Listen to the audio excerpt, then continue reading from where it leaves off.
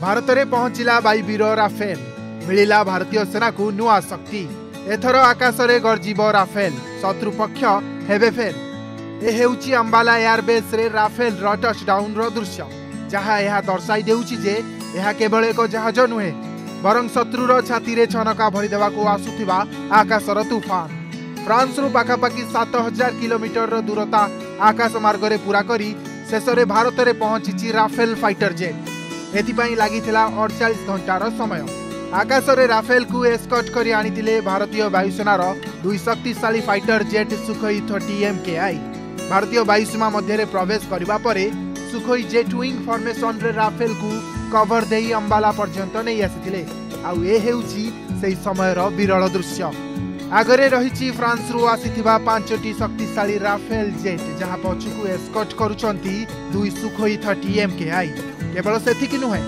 ଭାରତୀୟ ବାୟୁସୀମା ମଧ୍ୟରେ ପ୍ରବେଶ କରିବା ପରେ ରାଫେଲ ଏହାର ପ୍ରଥମ କଣ୍ଟାକ୍ଟ ଆରବ ସାଗରରେ ମୁତୟନ ଆଇଏନ୍ଏସ୍ କୋଲକାତା ସହିତ କରିଥିଲା Indian naval warship Delta 63. Welcome to the Indian Ocean.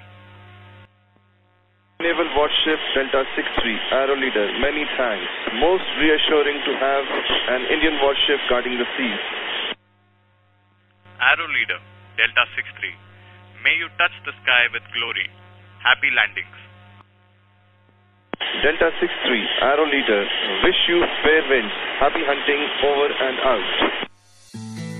Rafale Bharat ଆସିବା ପରେ ଟ୍ୱିଟ୍ କରିଛନ୍ତି ପ୍ରତିରକ୍ଷା ମନ୍ତ୍ରୀ ରାଜନାଥ ସିଂ କହିଛନ୍ତି ଏ ହେଉଛି ଏକ ନୂଆ ଯୁଗର ଆରମ୍ଭ ବଦଳିବ ଏଥର ଭାରତୀୟ ବାୟୁସେନାର ପରିଚୟ ଭାରତୀୟ ଭୂମିରେ ରାଫେଲର ଅବତରଣ ସାମରିକ ଇତିହାସରେ ଏକ ନୂତନ ଯୁଗର ଆରମ୍ଭ ବୋଲି କହିଛନ୍ତି ରାଜନାଥ ଏଥିସହିତ ପ୍ରଧାନମନ୍ତ୍ରୀ ନରେନ୍ଦ୍ର ମୋଦିଙ୍କ ସୁଚିନ୍ତିତ ନିଷ୍ପତ୍ତି ଓ ସାହସ ପାଇଁ ସେ ଧନ୍ୟବାଦ ମଧ୍ୟ ଜଣାଇଛନ୍ତି ବ୍ୟୁରୋ ରିପୋର୍ଟ ୟର୍ଗସ୍ ଷ୍ଟାର୍ଟିଂ